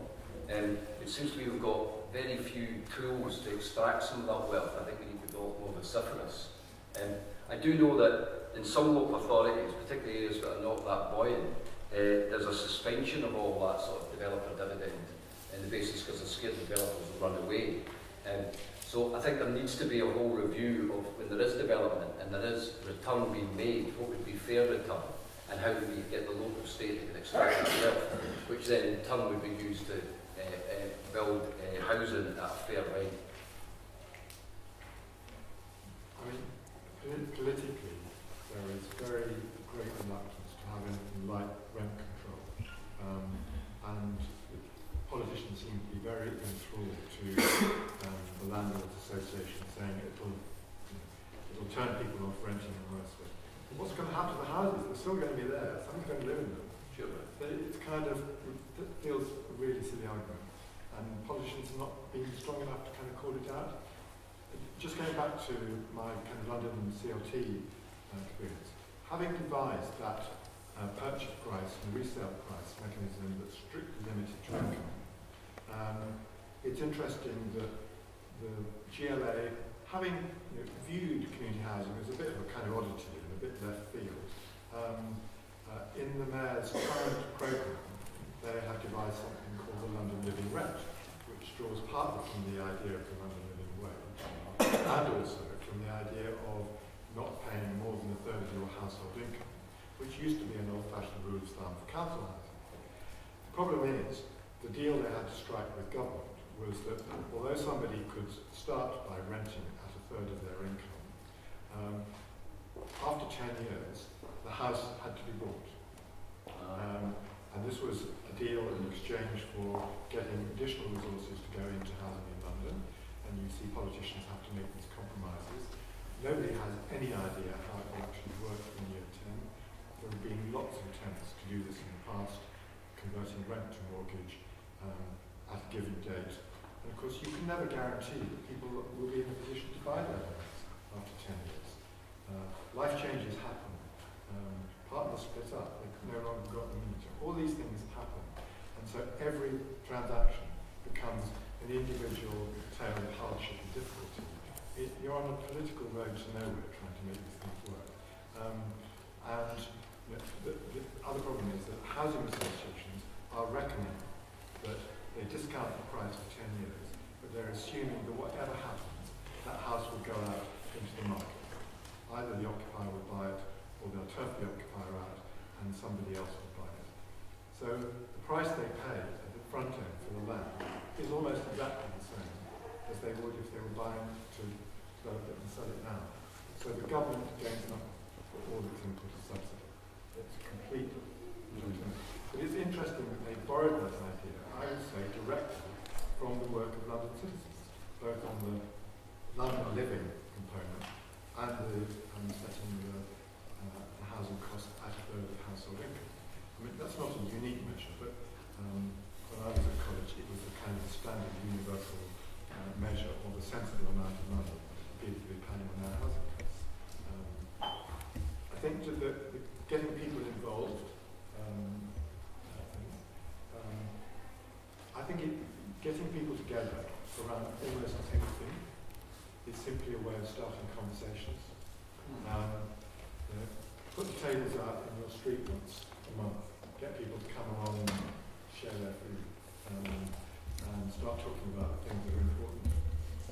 Um, I think it, it really is difficult, um, but people in local authorities often find it really difficult because they think that there are you know, methodologies they employ, expensive consultants. It's actually the easiest thing to get people to start on talking, provide them with a kind of social setting, um, and just find out what's important to people, and then very quickly identify an agenda, and then you've got something to work with. It's like the, the listening campaigns. What is the most thing that's most important? What's worrying you most? Um, go for it. Have, have fun. It's got to be fun, because otherwise people won't come. Honestly, it, I think this, uh, housing, everything's connected, isn't it? I don't want to get too complex, but it seems to me that there's something about is, house, is housing an investment in to create productive people create good society, or is it an investment that's got to play within the market and economy? It seems to me that we need to think about housing as part of a, of a, as part of an investing in people's lives to be to be productive within the economy, but it's actually part of that whole thing. It's seen as a kind of commodity. Um, and also in terms of like you know the whole housing issue, it kind of goes back to like wages and how much wealth people have in people's pockets. It's in the sense if they've got more money in their pockets, then they can afford different types of rent. So Neil, you, you talked about the need, obviously, for um, more social housing and state-provided housing in addition as as well as a kind of major need alongside uh, community-led alternatives.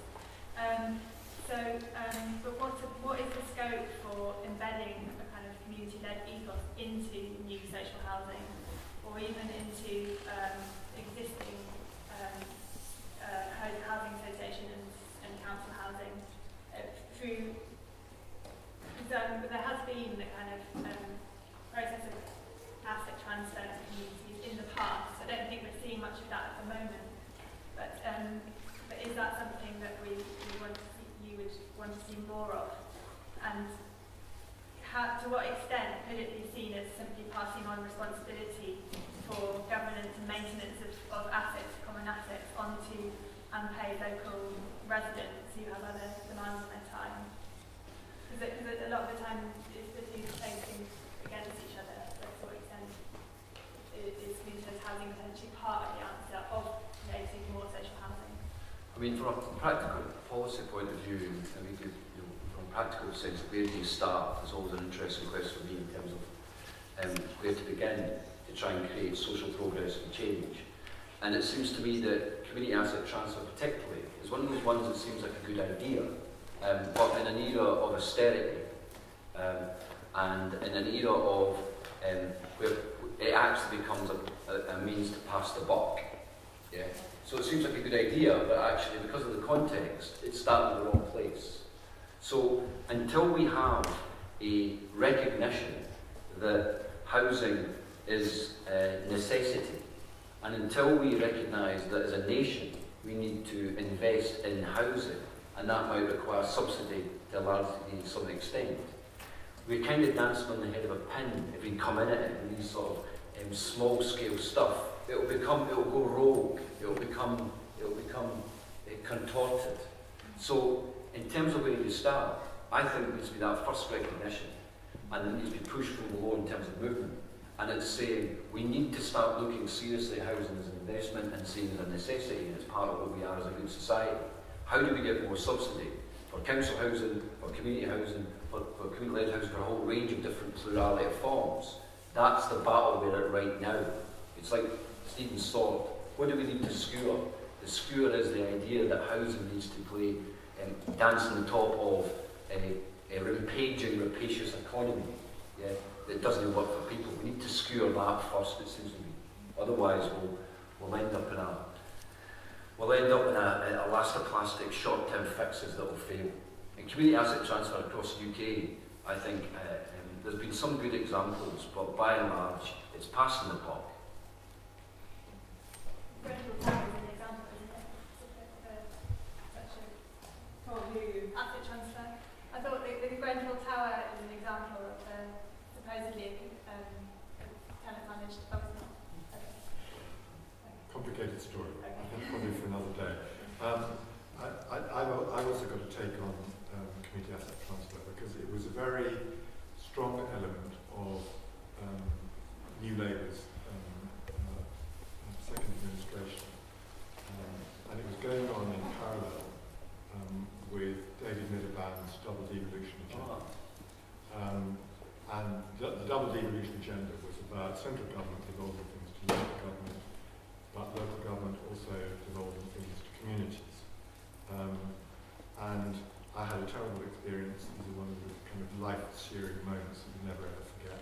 Um, uh, I was on, um, Nick Raynsford was Minister of Local Government, and he had a kind of signing board on the local government reform. For some reason, I was on it um, as a kind of voice of the community. Um, obviously not a community, I'm a professional surveyor, but um, and um, myself and, an- and another on board, we were given the job of trying to articulate what this second stage of devolution looked like. Um, and I can remember May the 22nd, 2005, um, at 2.30 in the afternoon, finished the presentation, and the voice of local government from the other side of the table said, turning to Nick Raynsford, for God's sake, don't make our job any more difficult than it is by making us work with communities. And that was that. Um, at the same time, so this was about real transfers of power, from central to local, from local to community. That was the important thing, power. Community asset transfer, to me, at the time, felt like a huge diversion. Um, and the voluntary sector organisation really wanting to get involved, clearly wanting to do good projects. But one of the fundamental things about development trusts is that they don't intrinsically have any necessary or legal obligation to be accountable to their communities. And Joseph Rowntree Foundation did a lot of work on asset transfer and found that um, as a kind of a generic type of community development trust, there was nothing intrinsic to it about being accountable to your communities, which is why, again, the definition of community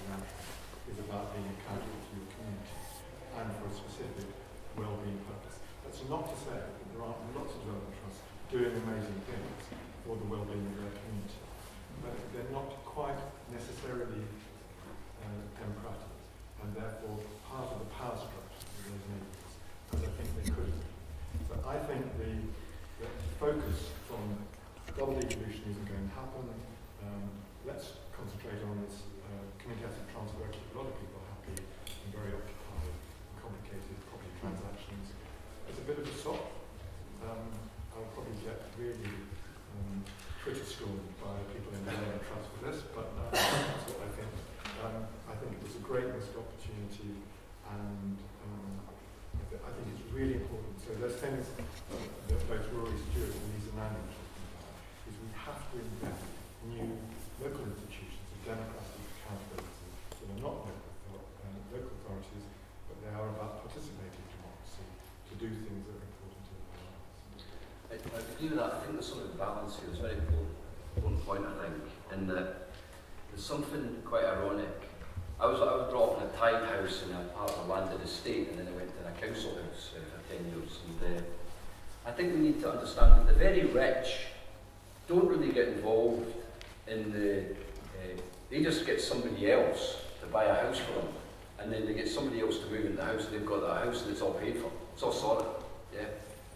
I don't really see why the poorest members or people that, you know, some people just want a house. Why do they have to get involved to have a house? So we need to watch and we, we need to get a balance right here. I think people should have a house. They can get involved if they want to set up community-led houses, if they want to do that. But some people won't. And I think the fun most would just like, give us a house at a decent price. Yeah? I don't want to get involved. I'm too busy watching the football and going to the pub. Right? Or doing something else. Right? So I think there's something about it's a right to have a house. And I don't think we should force people necessarily to go down a community. Well, you've got to get involved in this. Yeah? I think that's unfair. I think we need to get back to a situation where a house like this a, thing you get. But you, you're allowed to have it and don't get involved. Um, my thank you. Um, my Martin. I'm um, a member of Manchester Urban Co-housing, which is an older people's co-housing group in Manchester. Um, and I think one of the issues for us as older people um, is that a house is not just bricks and mortar and it's not something that we, um, it's not the only thing we need. Um, we um, see ourselves as active citizens and we have ambitions and aspirations for the next 30 years of our lives, perhaps, maybe more, if we're lucky, um, to um, play roles in our communities which we are already playing and continue to do so.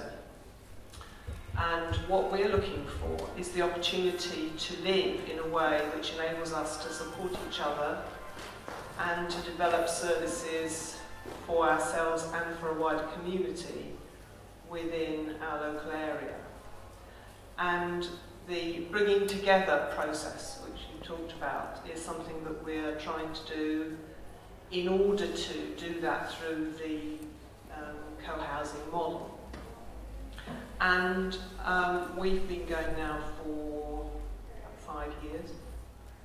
Um, and we are in South Manchester, which is boom town. Um, property prices are rocketing. I don't live in Chorlton, I live in the other bit that's getting very expensive. And um, there isn't much land. And the property developers um, are getting in there before us. And despite our working relationships with housing associations, who I have to say vary considerably. Some of them have got a very narrow view and are very, particularly the ones managing ex-council stock, who, who are very patronising view of older people, who want to care for us. We don't want to be cared for, we want to live our lives. and that may involve getting care.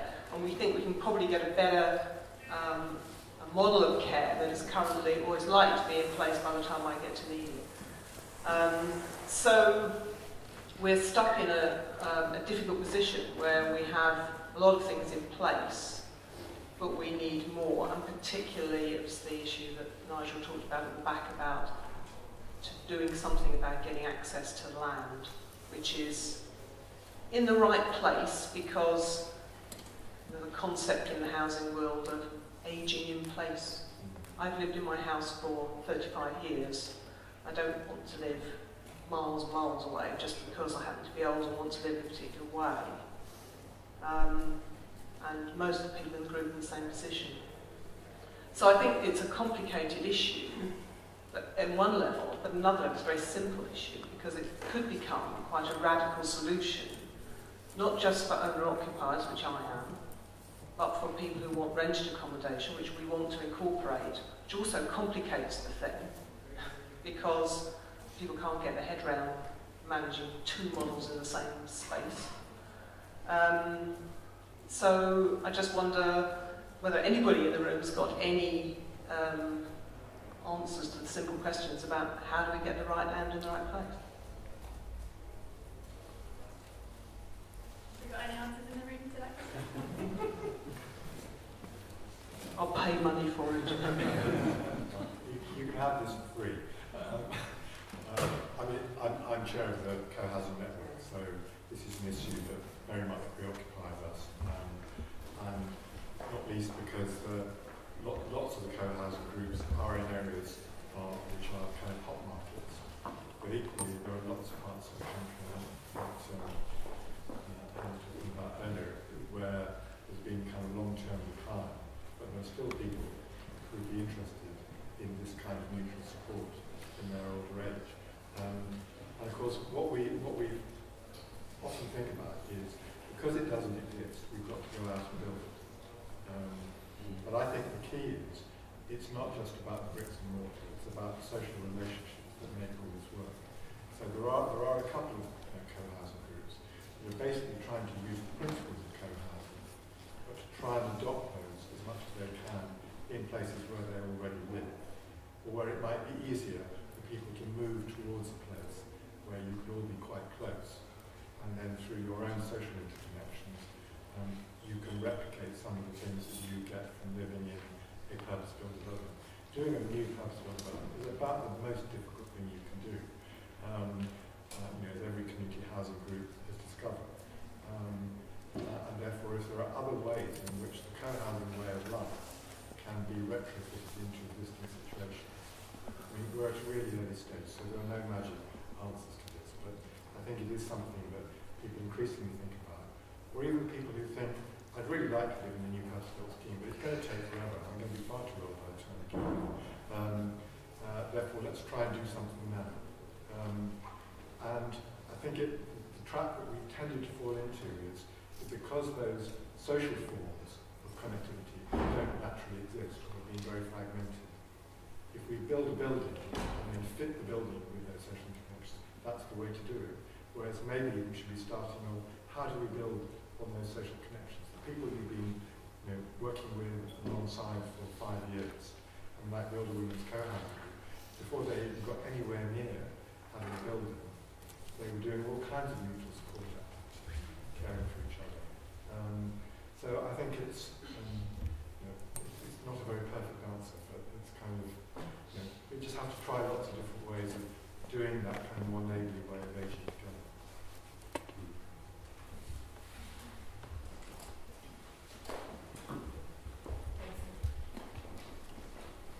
Cheers.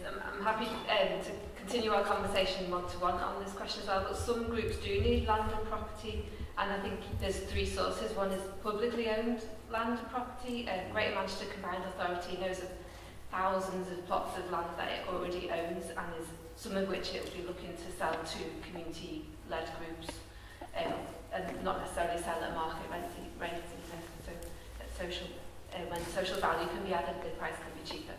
Um, there's privately owned land and property, and some of whom some are already approaching this project, so we hope to broker um, uh, conversations with people who want to sell a house that they no longer want all the land to a community-led group. Um, and um, third sector owned land and property, so uh, churches apparently are working with Shelter to look at um, land that they can release to community-led groups for, for, so, social and affordable housing.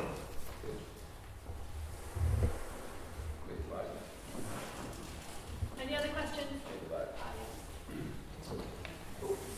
I'm not sure whether the questions are based on the one you originally asked, because we seem to be free-flowing, so I thought I'd just nip in. A couple of things I'll comment on what um, was said earlier about Dublin, Manchester and Salford councils. Well, I know it's the system, but I do think Manchester and Salford councils have not resisted it as well as some others. And maybe Salford's changing a bit at the moment. I hope Manchester does soon, but we have had uh, massive investment of you know money from the Far East, etc. And that's been encouraged. Richard Leese goes to Cannes and woos the uh, you know the Middle Eastern investors. You know Manchester's paraded and Salford was, I don't know if it still is, as the place to come. And you look, you know we've got the donut effect. We had the report out last week that none of it's helped your average person. It's just helped the investors and a few people who can afford them. And there must be zillions of empty flats, as well as the ones that are used by party weekends, etc. It's not a healthy housing situation from any point of view. So I think, you know, would they have some responsibility and they have not used it well. But my question was, going back to something that was said early on by one of the speakers, about, um, you know, hospitals having some sort of responsibility. And I was thinking, um, sorry I'm Margaret, but I'm also involved now with this community-led housing thing in Charlton, which is a slightly different thing from what other people might think of as community-led housing. It's just a name we adopted and then we found out there's a whole movement which might or might not be the same as what we want to do. But I am interested in lots of aspects of housing, eco-housing in particular, but um, the public institutions in Manchester in particular, have a responsibility. So you've got the big hospitals, you've got two universities, the Royal College of Music, maybe some other colleges, who skew the housing market in a lot of ways. You know, the students take over certain areas, they build student flats, but they've also, in building their campuses, taken over, especially MMU recently, a whole chunk of Hume that was social housing, so they've had very cheap land.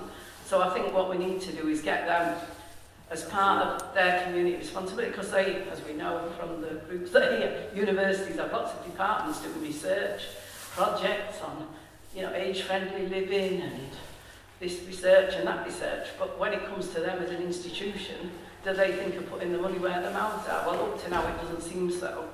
You know, they, I mean, that development where the BBC was, I don't know who actually owns it, whatever, but that's all going to be student land, I can gather. Well, why should it be? You know, what's wrong with it? What would have wrong with some of that being for, you know, people who've been, would have otherwise lived in Hume or somewhere like that. So I think, you know, one way or another, these institutions, have, I know they're private, independent, blah, blah, blah, but, you know, they are still public in a way that, you know, Amazon isn't, shall we say. So I think we ought to use, to get to them as well and say, you have a responsibility to the community, you want to be seen as, you know, people and not just businesses, or some of them do, some of them probably don't, and therefore try and get them to take some responsibility on what's going on in the area as a whole and not just their own narrow interests in housing the students and, you know, teaching the students and whatever it is that you know that they're involved in at the moment. Yeah, that was a lovely comment. Excellent. I, I agree. I think Council Salford, Manchester, others could have done a lot more. I, I think it was like started off all this back in the 80s, I think, where uh, where Manchester, this city was, where they adopted an urban entrepreneurialism to make themselves friendly to capital investment. It was a, maybe possibly not a bad idea then in terms of where Manchester was. It's just that they held on to that idea too long, it seemed to me. And when it started to become more buoyant, they should have turned around and actually looked more at social and economic justice. In my view, they've been a bit late, but I think there's an opportunity now to start to change that, and I think they are changing. Maybe a bit of a juggernaut super tanker, but I think it, it, maybe it was a necessity, some of that, that, that you know, civic boosterism they did, yeah, but we're past that now. It's, it ended up like sort of mini sort of London. The agglomeration economics went too far, and I think they don't want to make the mistake of London. I think sometimes we kind of Manchester wants to ape London. Can we not have more social justice, uh, social justice frame to our land and property and development? That's what we should be doing progressive city. Uh, on the on the public institutions and universities, I completely agree with you. Uh, if you look at the universities, uh, certainly the big ones in this city region, oh, name them, University of Manchester. It talks big, big have, it's corporate social responsibility. Yeah. and it's got and it does a lot of good philanthropic stuff in terms of uh, work with the community voluntary sector. But the real levers it can pull, yeah, it's land and property and investments. Yeah, what's it doing with that? Yeah, in terms of to benefit the poorer, poorer parts of this side. There's academics in those institutions who do give it big view heart being progressive, but they're not really getting at the Vice Chancellor or influence the deans about how they should be conducted. They're very well being politically right on yeah, in, in their academic papers, but are they really getting right into the entrails of the exploitative speculative practices of their own institution? So I completely agree with you. The enlightened universities, like the University of Birmingham, for instance, are doing some work, um, the Vice Chancellor is well behind this sort of stuff in terms of wealth building and the, the University of Birmingham being a virtuous thing. Um, I'm not really sure the universities in this sense, certainly because of Manchester in that space. I mean, I think there's, a, there's one good example of a university doing that. So UCL in London um, was going UCL UCL in London it was called um, was going their State Department were going to buy a council estate of Newham Council that is on the edge of the Olympic Park in order to build a new campus at Stratford. Um, this is called the Carpenter's Estate, and if you Google Car Carpenter's Estate, you'll see this has been a battle going on between the community and Newham Council and the late lamented and much missed Mayor Robin. Um, by some. By some. um, uh, trying to empty this estate over the best part of 15 years and never quite succeeded. Um, and yeah, so there, there were then academics and indeed students um, in the planning school who were completely horrified with this because basically the university was doing exactly the thing that all the teaching was saying should never happen. Um, and in the end, that kind of pressure told, and you know, the, university withdrew. But in sense, it was not evil intent. It was simply that the property people had no idea of what these sensitivities were. To them, it was just another bit of real estate. Um, they have lots of money to spend because they sit on a pile of real estate in a very valuable part of central London. So they're completely divorced from the value set of the university. And the governance of the university is simply insufficient to make sure that this sort of thing never happens. I think we've got time for one more point. There was somebody with a hand up at the back there.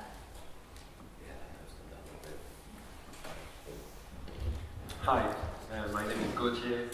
Uh, I'm, uh, I mean, I've been involved in a few uh, community-led housing projects, mostly with co-ops over the, all over the country.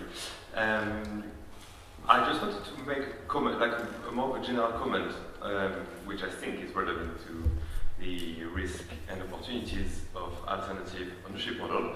Um, it's, it's the fact that when we talk about community-led housing, it's quite a diverse sector with a lot of different models, um, and, and also that's, um, that's a, you know, we can value the diversity.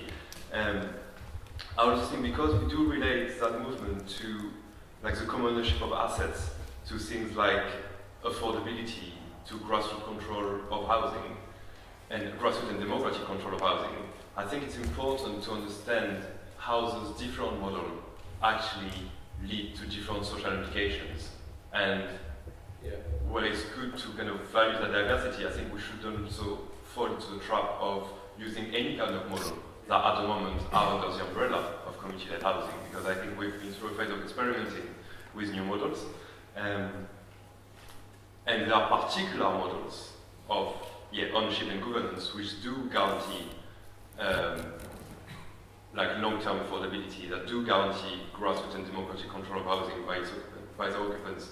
Um, and also mostly that prevent any form of financialization of, uh, of housing assets. Mm -hmm. And, I, and I kind of think we should try to really understand which model should be promoted depending on what aim we are in. Because there's a very there's a difference between um, you know, privately owned co-housing models than, say, cooperative co-housing models. And that leads to a second slide comment, is that um, like across the board, when I work with other community-led organizations, um, we often compare things like co-ops or community land trust with something like co-housing. Um, And you know, because the area is so diverse, I think we need to be clearer about our messages. And actually, talking about community, like co-housing, is actually about the physical, um, the physical aspect of the housing project, is how housing are placed together. Whereas something like co-ops and community land trust is about the ownership and governance of the property and the land. And actually, you know, a, a co-housing project isn't something on its own. A co-housing is going to be either incorporated as a co-op or a CLT or privately owned. But I think it's quite important to start to clearly make those differences when we talk about community-led housing. Thanks, Gautier. I think that was a really good point to, to, to end on. Um, we, the Housing Futures project is, is looking at all of the different forms of community housing and trying to make sense of them for an audience of people who are interested in, making, in reforming the housing sector in, in, in Manchester, in Greater Manchester. Um, and we're trying to see like what models, what to lay out what, what exactly all of these models mean and, and, and how they could how they could work in, in Manchester. At the same time, building, bringing people together who have this knowledge and expertise and interest um, through the network.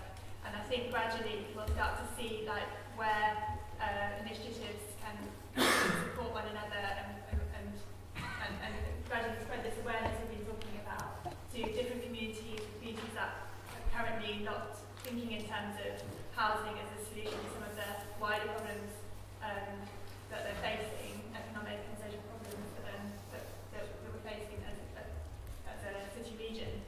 Um, but start to see how kind of more democratic control can come into the housing aspects of our lives. Um, but also, as you've seen today, like, kind of covered all of the issues and problems with um, the housing market. And um, I think the Greater Manchester Housing Action, which works on the cares about homelessness and um, asset stripping and all, all of the all of the things that you know that are making um, life kind of harder for so many people. Um, this community-led housing topic is kind of one that we've embraced because it has some positive solutions in there and it kind of has some avenues for hope and it kind of it kind of brings together the sort of the um, sort of wider desire that we're seeing in society for greater local power and um, empowerment and working together and transfer of ownership to community. So um, hopefully the conversation we're going to carry on with, got, uh, we're going to be looking at um, what uh, uh, what community-led housing would mean in African countries and in other countries in the global south our next event because there's so much that we can learn from, from how it works there, where it's a really big part of the housing sector. Um, and then our launch event, um, on, on, when, we, when the report will be finished, um, is will be like a wider conversation that will try to bring back a lot of these issues and hopefully a lot of you as well um, to, to see how we can build a strong um, community-led housing movement going forward. So thanks everybody for coming.